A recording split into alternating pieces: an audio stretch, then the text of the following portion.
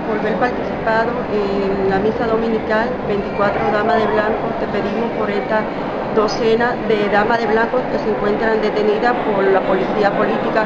Te pedimos por el pueblo cubano que se nos una en esta lucha pacífica.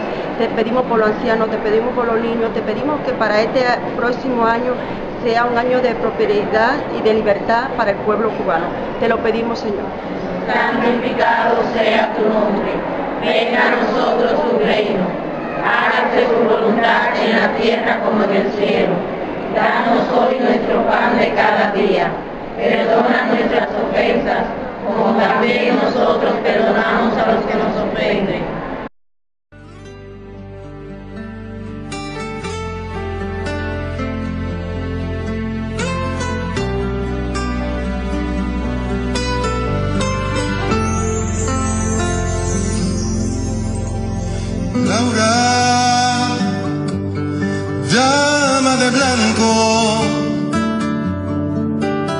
Te quisieron silenciar y hoy tu voz suena más alto.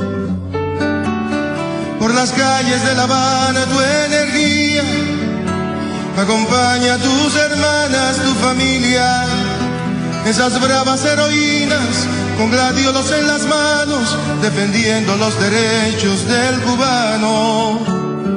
Laura,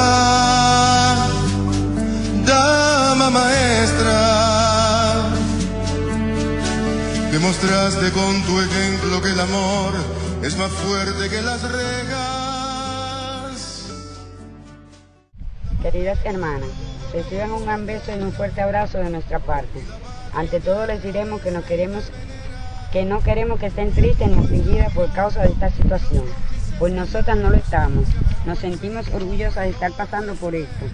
Cuando se llega a este lugar en, la posición que hemos llegado nosotras, no, no se sufre.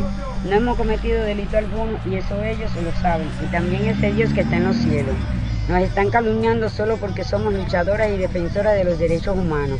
Nosotras mantendremos nuestra posición ahora más fuerte que nunca, y no nos importa que nos torturen como lo están haciendo. No habrá barreras ni reas que nos hagan claudicar. Los candados de esta prisión no lograrán nunca encerrar nuestras ideas ni nuestras fuerzas para luchar.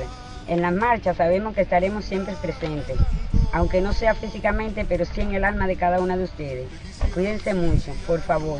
Les pedimos que se mantengan unidas, muy unidas por el bien de esta lucha y de nuestro país. Quiéranse mucho y ayúdense mutuamente como lo que son. En realidad, hermanas. Las queremos mucho, Adriana y Miraida. Dios, patria y libertad.